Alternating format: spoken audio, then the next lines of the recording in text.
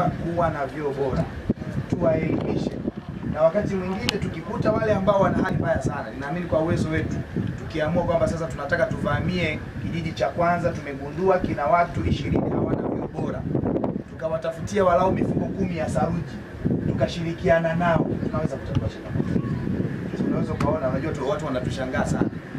Hawa World Bank na wafadhili wengine wanatushangaa, yaani lengo lao ni kuokoa maisha yetu. Usalama ni wa kwetu, usafi ni wa kwetu, na kama tukifanya hivyo hela ni za kwetu, lakini bado kuna watu hawana vyoo. Inasikitisha. Kwa mimi nitoe rai kwenu kama wana tuwaze mambo kama hayo ya kuisaidia jamii, mtakuwa me, me, me, me play part yenu kwa kiwango kikubwa, na mimi niwaahidi kama hamtakuja na program maalum ya kutaka walau kuzunguka kwenye ngazi ya kata ili kwenda kutusaidia kuelimisha kupitia kampeni hii ya vyoo bora, tuweze kupata fedha ya kutosha kwenye wilaya yetu na tuweze kuokoa maisha ya watu wetu. Mimi nitawaungeni mkono kwa kuhakikisha mnapata chombo cha usafiri ambacho kitawazungusha kwenye wilaya yetu yote. Ninafanya haya nikiamini kwamba timu yetu Wasafi Group mkikaa mkikubaliana, mambo yanaweza yakaenda na matokeo.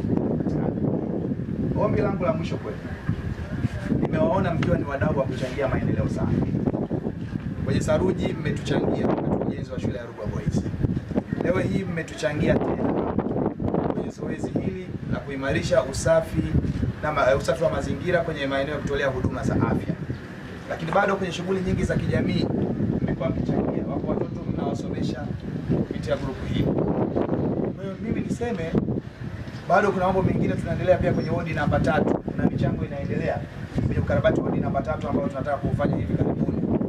Niwaombe sasa, ili muendelee kuwa na fedha wanadmin na group members, ili muendelee kuwa na fedha, ningependa na chimbo yetu WhatsApp group muwe na mjadala wa kiuchumi. Ushauri wangu ninaotaka kuwapeni, tumieni fursa hii na sisi tukiwa bado tupo katika muda huu ambao Mwenyezi Mungu ameendelea kutu, kutuazima tuendelee kuihudumia wilaya. Hebu mjadili uchumi. Mimi nataka wale ambao watakuwa tayari ndani ya grupu yenu tuandae tua maalum ya kuzitambua fursa ndani ya wilaya yetu ya Nachingwea. Watu wajiorodheshe. Sisi kama serikali tutatafuta vyombo vya usafiri, nitakuja na wataalamu wetu, tuichukue grupu hii tuwapeleke mkatembelee maeneo yenye madini, mkatembelee Nditi, muangalie fursa za madini zinazokuja kule kwa kiwango kikubwa.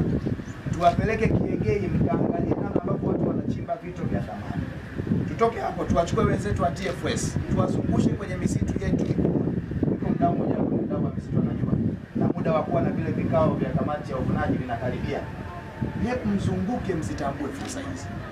Mkishazing'amua fursa, kila mmoja atakaa, atajipanga mwende mkawekeze. Mkiwekeza kesho na kesho kutwa mtachangia haya maendeleo. Kwa mimi nimeona walau pia ni, ni, ni washawishi, msiishie kuyajadili haya na kukusanya kila siku. Hebu tuzungumze uchumi, tuwazungushe, muone fursa zilizopo kwenye wilaya yetu hii. Kama wana wanachingwa yetu WhatsApp group, mkikaa mtaamua wenyewe mnakuja na program gani za kunyanyua uchumi. Uchumi wenu ukiimarika, sasa michango hii itakuwa mingi sana na zile fikra za kufikiri nilikuwa napitia pitia jana, ikaonekana kumbe hela za tax bill wanasema ameenda amejilipia ada chuo. Hatimaye leo tunaona kwamba tax bill ziko na hela haijaenda kwenye ada. Kwa watu wakishakuwa na hela na mijadala hii midogo midogo yote itakuwa imefanya nini? Imepotea. Nimalize kwa kuwapongeza na kuwashukuru sana bwana na chimba yetu WhatsApp group. Endeleeni kuchapa kazi, endeleeni kushirikiana na jamii, endeleeni kuibua changamoto na niwaombe hata mnapoona mambo hayaendi vizuri, pazeni sauti yetu. Sisi tunafuatilia mitandao ya kijamii, tunaangalia yaliyo mazuri, tunayachukua na kuyaboresha zaidi. Pale kwenye kasoro na changamoto zinazozungumzwa na jamii, tunazichukua kwa ajili ya maboresho. Kila andiko la mtu huwa tunalichukulia in a very positive way.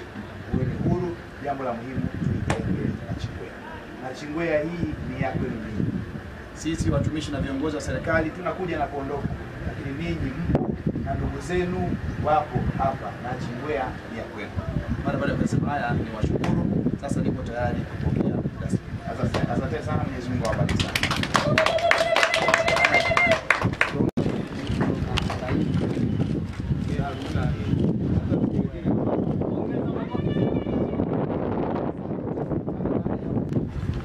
Kwa niaba ya zahanati zote, tunashukuru kwa ajili ya hospitali. Mimi nachukua video blaza,